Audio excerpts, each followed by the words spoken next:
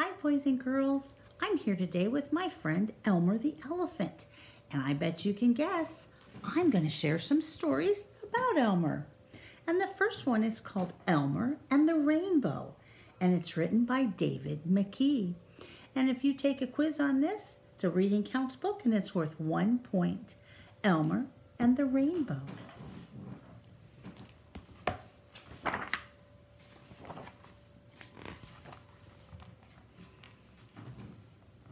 Elmer, the patchwork elephant, was in a cave. He was sheltering from a storm. With him were other elephants and birds. Thunder and lightning are exciting, said Elmer. And after the storm, we might see a rainbow. When the storm had stopped, Elmer and the birds went outside. Elmer felt drops on his head. Oh, he said, it's still raining. Or perhaps it's the rainbow crying, said a bird. It's come out too soon and lost all its colors. Look! And look in the sky. I've never seen a rainbow look like that. In the sky was a pale shape. A rainbow without colors, said Elmer. That's awful. We must do something. I'll give it my colors. To do that, you'll have to find where it touches the ground, said a bird. Nobody knows where that is. Well, what are we waiting for, said Elmer. Let's start searching. You go that way and I'll go this way. What are you looking for, Elmer? called Lion. The end of the rainbow, said Elmer. Have you seen it? Which end? asked Lion. Well, either end, asked Elmer. The rainbow's lost its colors, and I can give it mine if we can find the end. A rainbow without colors? That's serious, said Tiger.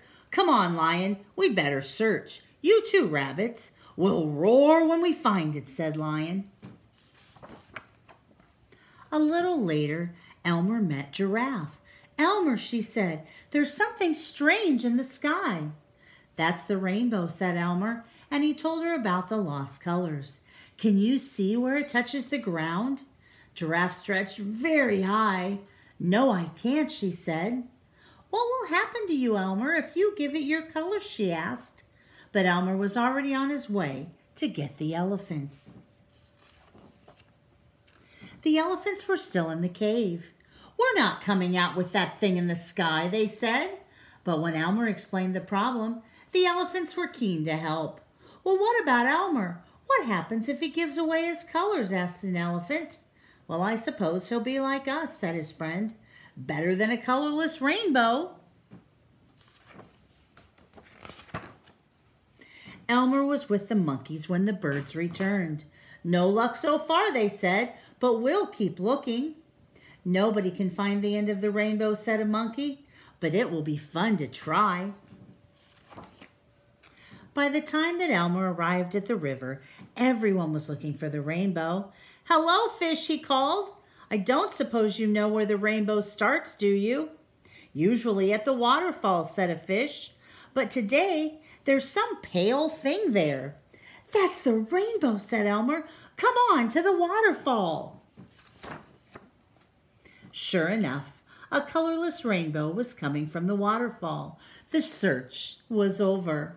Elmer, the fish, and the crocodiles called loudly to the other animals, and then, without waiting, Elmer went behind the waterfall.